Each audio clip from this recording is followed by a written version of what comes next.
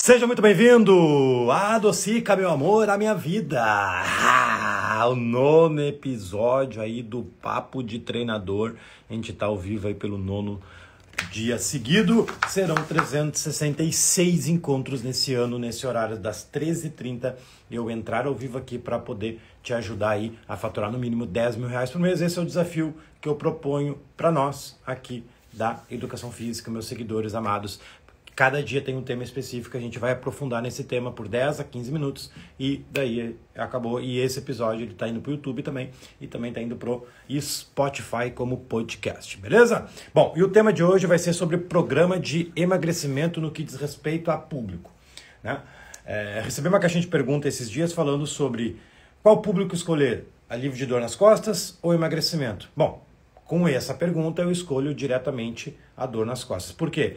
Porque existe um grande erro que as pessoas cometem entrar para o digital presencial é escolher, por exemplo, ah, eu vou emagrecer as pessoas. Olha só, o ato de você querer emagrecer as pessoas, somente emagrecer as pessoas, no plural, você está cometendo um grande erro. Por quê?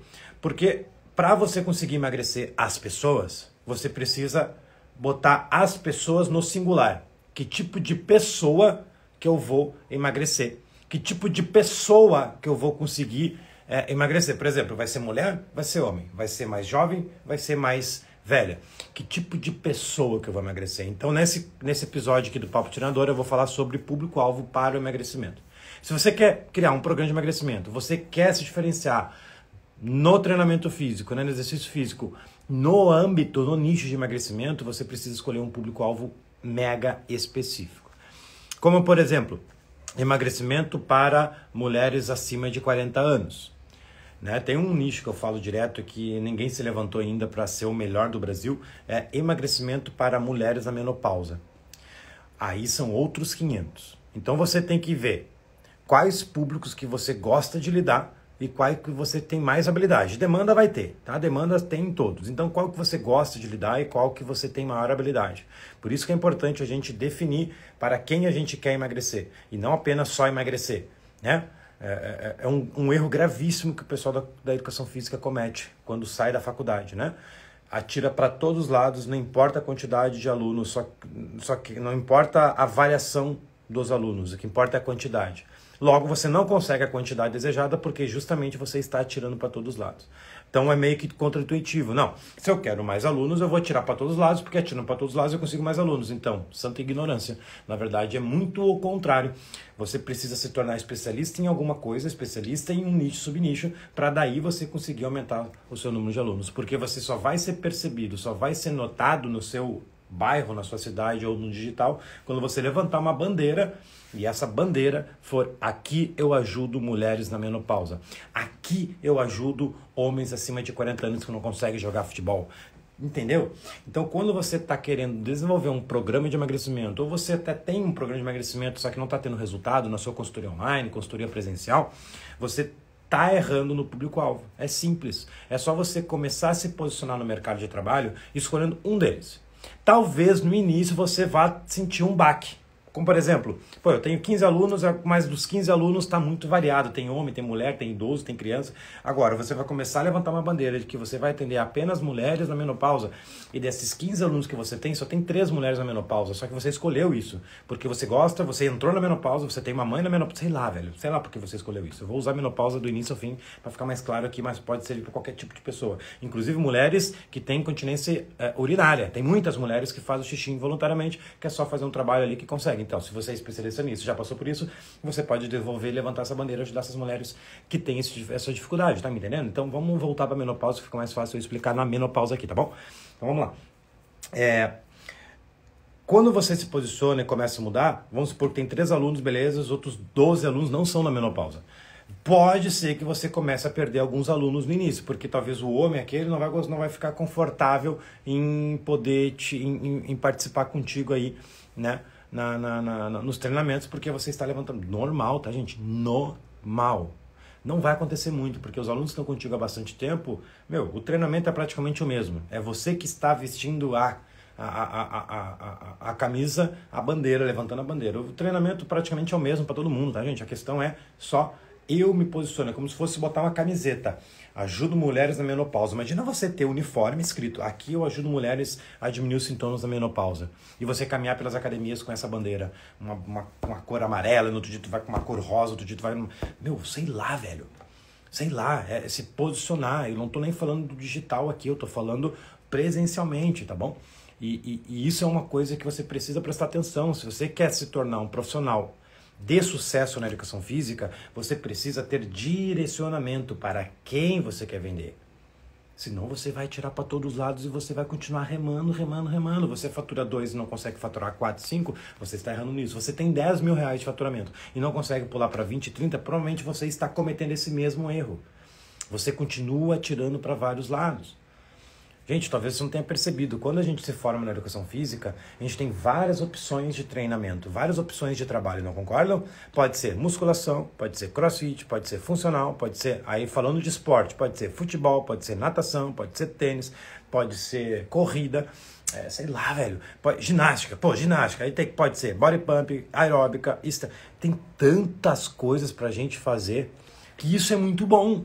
Isso é muito bom. Só que as pessoas são tão ignorantes, barra burras, que elas não entendem que elas precisam escolher uma delas.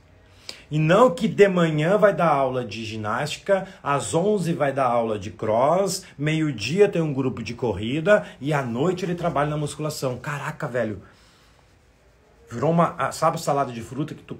Maçã, banana, morango, kiwi, é, sei lá, velho, melão. É uma salada de fruta, bota ali um suco, uma água, um, um, um refri, come, mistura. Hoje é você assim. Talvez seja por isso que você não está conseguindo engrenar na educação física. E é por isso que aqui, programa de emagrecimento, cara, é muito legal ter, inclusive recomendo ter. Inclusive faz parte das tendências do fitness, é a segunda tendência. Só que, para quem? Para quem? Eu vou te ajudar na aula 3 a definir isso. Tem uns questionários boladão que tu vai responder para mim que você vai identificar que tipo de pessoa você gosta de trabalhar ou não. Então, isso vai acontecer na Tropa de Treinadores Elite. Se você não se inscreveu ainda, comenta aqui a palavra tropa e olha o seu direct, porque vai ser muito conteúdo inédito, né? Onde você vai conseguir aprender aí a faturar no mínimo 10 mil reais por mês na educação física presencialmente. Se for pro digital, daí a promessa é 100 mil para baixo, tá? 100 mil para cima, tá bom? Mas vamos lá, vou recapitulando aqui. A escolha do público-alvo tem que estar tá claro na sua cabeça. Tá? Esse é o primeiro ponto. Tem que estar tá claro na sua cabeça. Se vai ser homem, vai ser mulher. Vamos lá, dando algum spoiler, já indo para a reta final, que eu prometo que no mínimo 10 minutos, já está quase estourando o tempo. Né? Eu, nem, eu nunca consigo controlar o tempo aqui, gente. Eu entro ao vivo, não olho o tempo e tem, tem live que já fiz até 20 minutos aqui, velho. Tem uma que eu fiz 22, assim, que foi, foi, foi, tava perdido, cego com o tempo, quando vejo já foi até 22 minutos. Mas a média está sendo uns 15 minutos cada uma. É, como é que eu descubro com o que eu tenho hoje qual público que eu posso escolher?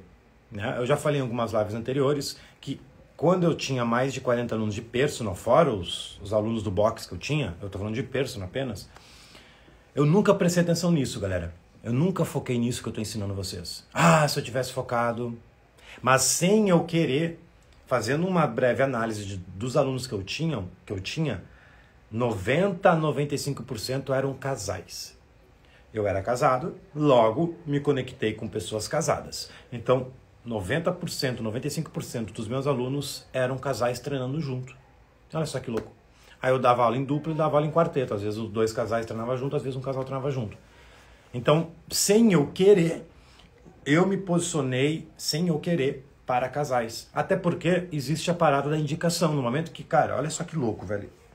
Quando você levanta uma bandeira, aqui eu ajudo obesos, Aqui eu ajudo idosos, aqui eu ajudo hipertensos. Com certeza, esse cara que é hipertenso, ele conhece outros que são hipertensos. Com certeza, o idoso que você levantou a bandeira, ele tá, faz parte do grupo da igreja, ou grupo da, da, do bairro, do condomínio, que só tem idosos. O, a mulher que está na menopausa, pode ter certeza que ela conversa com outras mulheres que têm na menopausa, que estão na menopausa também.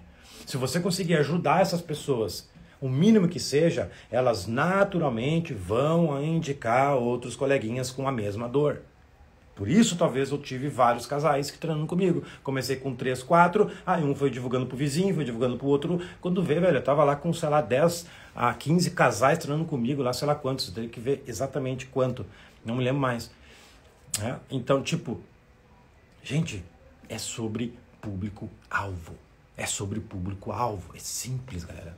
Inclusive aqui no chat está o Lauro, o Lauro Henrique, galera. Eu vou fazer uma live agora com ele e vai ter o personal Diego Lima também. São dois fenômenos que são meus alunos que estão resultado estratosférico. Tanto um resultado melhor do que eu quando eu era personal, né? E eu vou fazer a live com eles aqui às 14 horas daqui um pouco, tá? Às 14 vai ser com o Diego Lima e às 14h20, 14h30 com o Lauro. Obrigado, Lauro, por já estar tá aí atento aí. Obrigado pela, pela participação aqui no nosso Papo de Treinador. Tá, gente?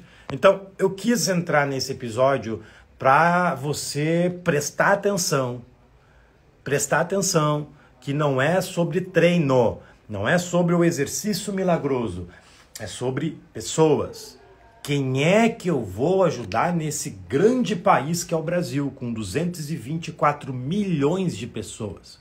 Se eu dividir por sexo, meio a meio, 110 milhões de mulheres, 110 milhões de homens. 110, mulher, 110 milhões de mulheres, sabia que 69%, 67% dessas mulheres já são mães? Opa! Então só aí vamos falar de 70, 80 milhões de mães. Opa!